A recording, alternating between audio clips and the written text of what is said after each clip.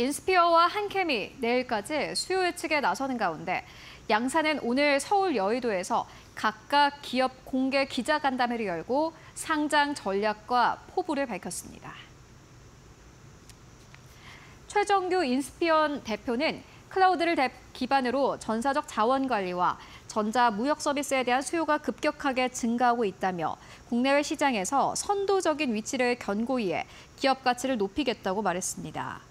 이상조 한캠 대표는 현재 유기발광 다이오드 시장이 성장하고 있어 이를 주축으로 사업을 하고 있지만 반도체 의약 소재 개발 역량도 충분히 보유하고 있다며 상장 후 공모금을 활용해 반도체 및 의약 소재 산업으로 사업을 확장해 나갈 것이라고 강조했습니다.